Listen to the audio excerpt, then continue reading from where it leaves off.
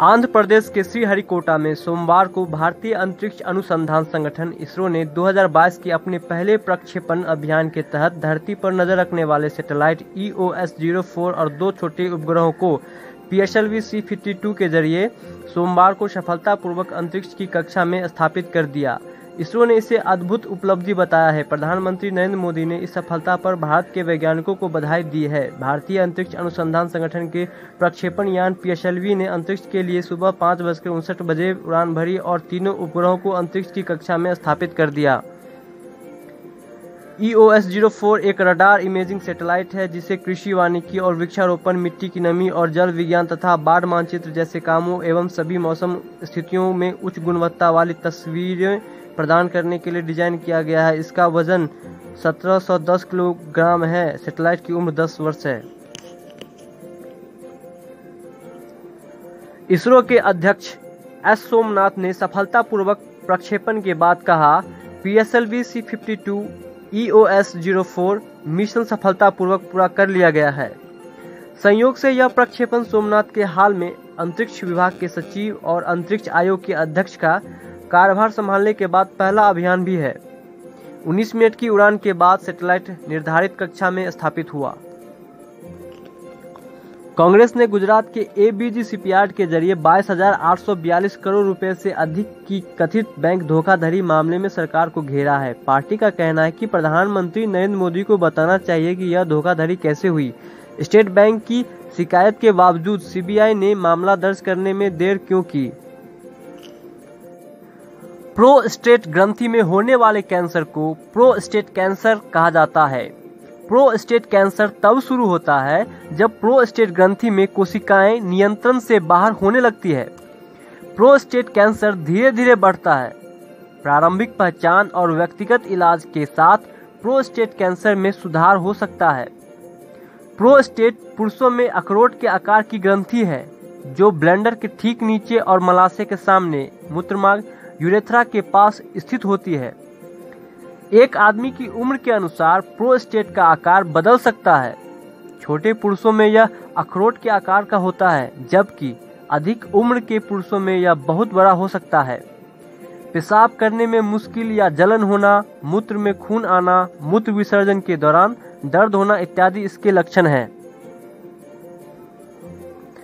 वैज्ञानिकों ने prostate cancer की जाँच का एक नया तरीका विकसित किया है।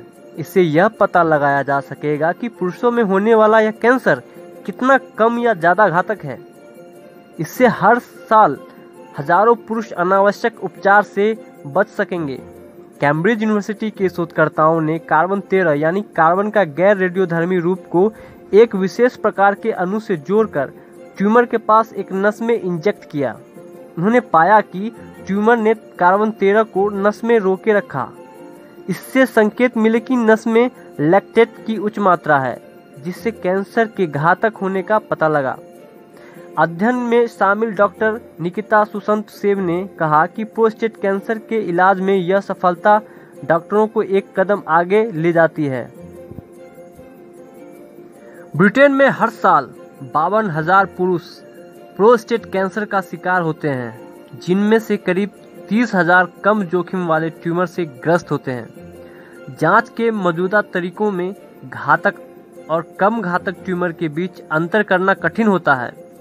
विशेष रूप से प्रारंभिक अवस्था में यह काम ज़्यादा कठिन होता है। कुछ पुरुषों के लिए यह ट्यूमर घातक होता है, जबकि कई में यह धीरे धीरे पनपता है और कभी भी कोई समस्या पैदा नहीं करता। नतीजन ब्रिटेन में हर साल कम से कम बीस हज़ार पुरुष अनावश्यक सर्जरी या रेडियोथेरेपी से गुजरते हैं। मौजूदा समय में डॉक्टर टीका या एमआरआई स्कैन के ज़रिए ट्यूमर के आकार का पता तो लगा सकते हैं, लेकिन इसकी सक्रियता का नहीं। अंतरिक्ष में मौजूद चीनी अंतरिक्ष यान ने खराब हो चुके एक उपग्रह को उठाकर पृथ्वी की कक्षा में फेंक दिया। ये हरकत। अंतरिक्ष यानों की गतिविधि पर नज़र रखने वाली एक कंपनी ने देख ली।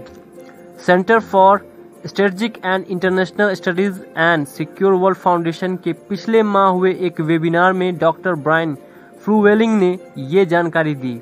वह अमेरिकी कंपनी एक्सो एनालिटिक सॉल्यूशन में chief space situational awareness architect हैं। यह कंपनी विशाल ऑप्टिक दूरबीनों के एक व्यापक वैश्विक नेटवर्क का उपयोग करते हुए उपग्रहों की स्थिति को ट्रैक करती है। गौरतल है कि बीते जनवरी में एक चीनी उपग्रह एक निष्क्रिय सैटेलाइट को दबोचता दिखा था। जानकारी के मुताबिक 22 जनवरी को चीनी अंतरिक्ष यान एस जे अपनी निर्धारित जगह से हटकर निष्क्रिय किए जा चुके उपग्रह कंपास जी की ओर बढ़ता हुआ देखा गया था। कुछ दिन बाद कंपास जी से जुड़ा एस जे उसकी कक्षा को बदलता पाया गया। हालाँकि चीनी अधिकारियों ने अभी तक किसी ऐसे अंतरिक्ष यान के होने की पुष्टि नहीं की है। S J twenty one October 2021 में लॉन्च किया गया था। अब वो कांगो बेसिन से कुछ ऊपर एक भूस्थैतिक कक्षा जीईओ में लौट चुका है। 2021 में अपनी काउंटर स्पेस रिपोर्ट में द सिक्योर वर्ल्ड फाउंडेशन ने कहा था कि इस बात के पक्के सबूत है कि चीन और रूस काउंटर स्पेस यानी प्रति अंतरिक्ष क्षमताओं वाली प्रौद्योगिकी पर काम कर रहे हैं। इसका आशय अंतरिक्ष प्रणालियों को नष्ट करने की क्षमता से है। वैसे चीन के आधिकारिक बयान अंतरिक्ष में शांतिपूर्ण उद्देश्यों को पूरा करने से ही जुड़े रहे हैं। वैज्ञानिकों की माने तो मलबा हटाने में कुछ भी गलत नहीं है। अंतरिक्ष के कबाड़ की सफ़ाई के लिए दूसरे देशों ने भी ऐसी प्रौद्योगिकियाँ या तो लॉन्च कर दी है या वे उन्हें तैयार कर रहे हैं। हालाँकि कचरा निस्तारण की प्रौद्योगिकी तैयार करने और अमल में लाने की चौतरफा कोशिशों के बावजूद कुछ अमेरिकी अधिकारियों ने एस जे इक्कीस जैसी चीनी उपग्रहों को लेकर चिंता जताई है। अमेरिकी अंतरिक्ष कमान के कमांडर जेम्स डिकनसन ने अप्रैल 2021 में कहा था कि चीन के एस जे इक्कीस जैसी टेक्नोलॉजी भविष्य की किसी प्रणाली के तहत दूसरे उपग्रहों को दबोचने में इस्तेमाल की जा सकती है। टेडी बियर पूरी दुनिया में लोकप्रिय है, पर इसके लोकप्रिय बनने की कहानी भी काफ़ी दिलचस्प है। दरअसल अमेरिकी राष्ट्रपति थियोडोर रूजवेल्ट की सहमति के बाद ही पहली बार वर्ष 1903 में इसे दुनिया के सामने लाया गया था। 15 फरवरी 1903 को मॉरिश मिक्टॉम ने हाथ से बनाए गोल मटोल मासूम से दिखने वाले भालू की शक्ल के दो सॉफ्ट टॉय बाज़ार में उतारे तो इन्हें टेडी नाम दिया। यह टेडी बियर से दुनिया की पहली मुलाकात थी। इस बात से बहुत कम लोग वाकिफ हैं कि अमेरिका के तत्कालीन राष्ट्रपति थियोडोर रूजवेल्ट को लोग प्यार से टेडी बुलाया करते थे और मिक्सटॉम ने अपनी खिलौने का नाम टेडी रखने के लिए खास तौर से राष्ट्रपति रूजवेल्ट से इजाज़त ली थी। उन्होंने इसके लिए बाकायदा उन्हें एक अर्जी भेजी और राष्ट्रपति ने खुशी खुशी इसके लिए अपनी अनुमति दे दी। उस वक्त मिक्सटॉम और रूजवेल्ट दोनों में से किसी को भी यह एहसास नहीं रहा होगा कि एक दिन उनका यह खिलौना दुनिया भर के बच्चों की पहली पसंद बन जाएगा। बता दें कि पूरे विश्व में 10 फरवरी को टेडी डे मनाया जाता है। इसके बाद भी टेडी बियर अमेरिका में लोकप्रिय नहीं था। बात 1903 की है। लिपजिंग टॉय फेयर में German toy maker Margarete Steiff ने 3000 टेडी बियर न्यूयॉर्क के एक खरीदार को बेच दिया। इसके बाद से यह अमेरिका में प्रसिद्ध हो गया।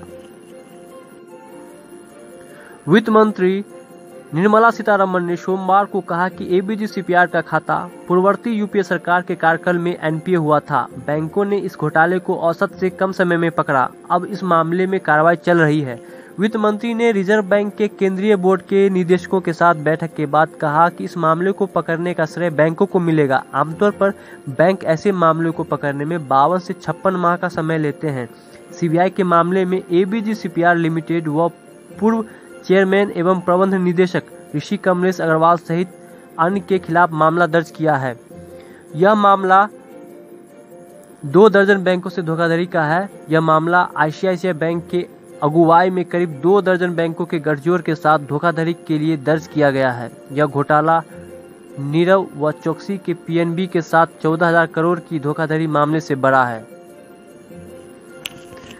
भारत सरकार ने चीन से जुड़े चौवन स्मार्टफ़ोन ऐप पर देश में पाबंदी लगा दी है। बताया जा रहा है कि इन सभी ऐप से भारत की सुरक्षा के लिए खतरा पैदा हो रहा था।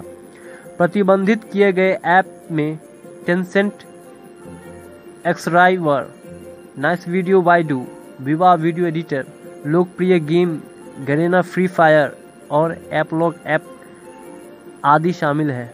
इससे पहले जून 2020 में भारत ने देश की सुरक्षा को ध्यान में रखते हुए टिकटॉक, वी और हेलो सहित उनसठ चीनी मोबाइल ऐप को प्रतिबंधित किया था।